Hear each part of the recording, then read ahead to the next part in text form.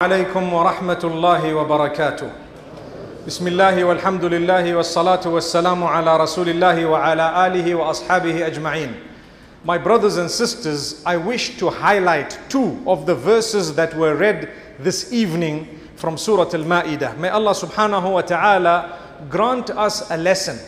In one of them, Allah is reminding us that if you are not going to fulfill the instructions that Allah has placed on your shoulders, then Allah is not going to lose anything. He will simply replace you with someone else. Look at the masjid tonight, it is full. Those who didn't come, they are the ones who lost out. If I was one of those who didn't come, the salah was going to continue, everything was going to continue. Who would have lost out? Myself. So if I don't pray, it's not like Allah is going to lose something, it's me who loses. If I don't give charity, it's not like money is going to be short. Someone else will give, Allah will use another. If I am not going to do the right thing, it's not like there is going to be a shortage of people doing the right thing. Allah has His plan, He will use someone else.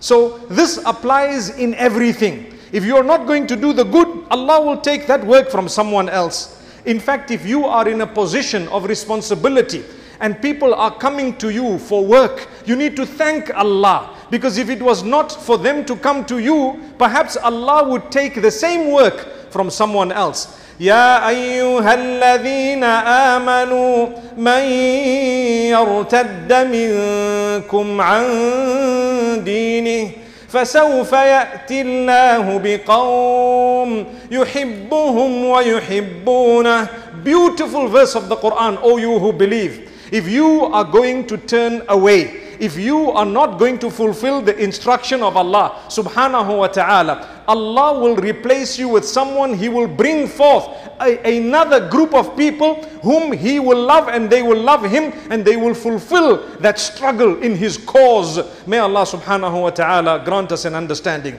So this is the first verse that I intended to speak about. Then there is another verse that I want to talk about which was in the last of the raka'at that we have fulfilled so far, where Allah says, one of the reasons why a certain nation were cursed was because when they did bad things, they did not stop each other from doing bad. They did not remind each other to stop doing evil. So when you see evil, when you see bad, the minimum is, yes, we feel it in our hearts to start with, then we pray for the people, then we try to reach out to them by reminding them, my brother, this is not the right thing. That's the minimum duty that you have. My sister, this is not a good thing what you did. Subhanallah. If you don't do that, the whole nation becomes cursed. Because what happens, the level and the standard of morals and values and fulfillment of responsibilities becomes low. Everyone is doing wrong and nobody is saying you guys are wrong. So Allah subhanahu wa ta'ala speaks about the curse upon those people.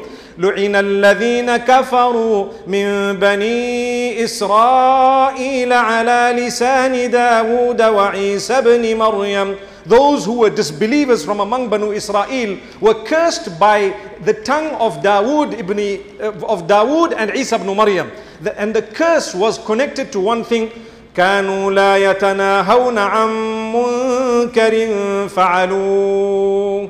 So Allah says they they turned away in transgression and they used to go beyond the limits of Allah. ذلك بما عصوا وكانوا يعتدون.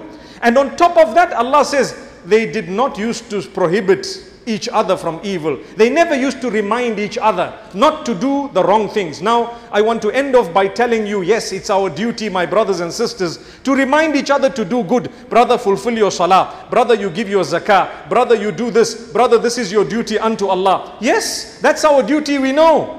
What about when someone is doing bad? Is it not our duty to remind them, to stop them, to try and tell them? That's what Allah is telling us. If we don't do that, we will all be from among the losers. May Allah subhanahu wa ta'ala help us in every way. أقول قولي هذا وصلى الله وسلم على نبينا محمد